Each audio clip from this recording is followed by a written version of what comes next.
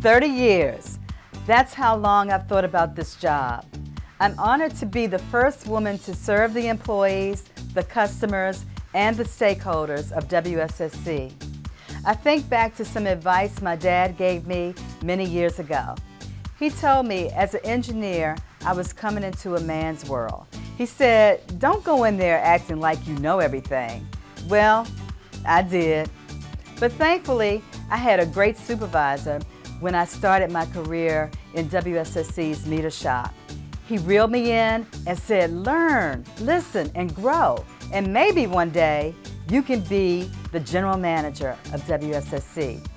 I'm here today because I followed that sage advice. What we do at WSSC, 24 hours a day, seven days a week, 365 days a year, is critical. You can't live without water, but we can't do our mission critical job without our suppliers.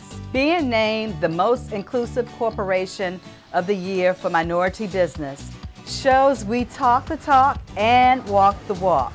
Diversity is just the way we do business. That's not just a tagline.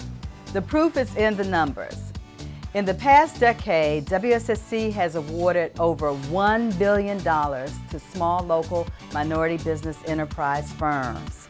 In fiscal year 2015, WSSC made contract payments of over $134 million to minority and women business enterprises. That's a quarter of our total contract payments.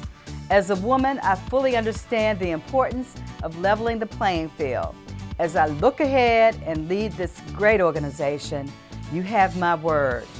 WSSC will continue its dedication to fostering an inclusive environment for all suppliers.